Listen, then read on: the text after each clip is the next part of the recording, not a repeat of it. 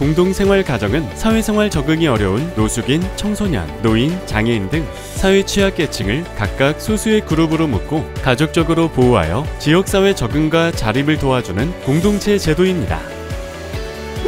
서울주택도시공사에서는 다가구 주택 등을 매입하고 사회 취약계층을 위해 임대하는 공동생활가정 운영기관을 모집하는데요. 2023년 하반기 매입 임대 공동생활가정 운영기관 모집 공고를 소개합니다.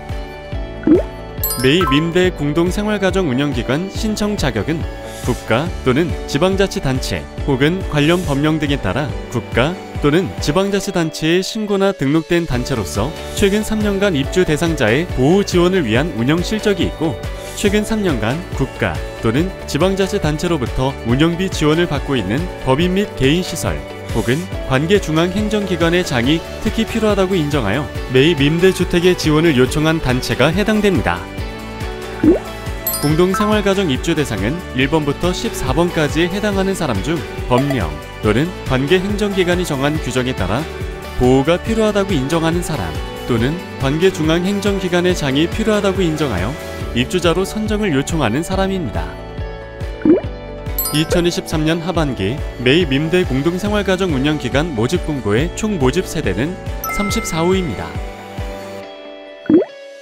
매입 임대 공동생활가정의 최초 임대 기간은 2년, 재계약은 2년 단위로 체결하며 횟수 제한은 없습니다. 임대 보증금 및 월 임대료는 감정 평가에 의하여 시중 전세 가격의 30%에서 50% 수준으로 산정하며 최초 임대 보증금과 월 임대료로 나누어 책정됩니다.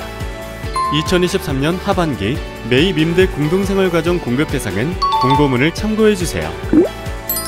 2023년 8월 7일 주택 공개와 함께 2023년 하반기 매입 임대 공동생활가정 운영기관 모집이 시작됩니다.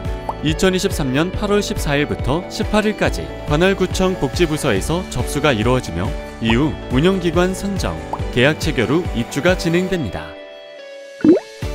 2023년 하반기 매입 임대 공동생활가정 운영기관 모집 공고는 서울주택도시공사 홈페이지 및 화면의 QR코드를 통해 확인할 수 있습니다. 모집 공고에 관한 문의사항은 서울주택도시공사 매입주택공급부 신청 접수 및 입주자 선정 관련 문의 사항은 서울시 담당 부서 관할구청 복지부서에서 안내해드립니다. 2023년 하반기 매입 임대 공동생활가정 운영기관 모집에 여러분의 많은 관심 부탁드립니다. 서울주택도시공사는 계속해서 여러분의 주거 고민을 덜어드리기 위해 다양한 방법, 실속 있는 정책으로 찾아뵙겠습니다.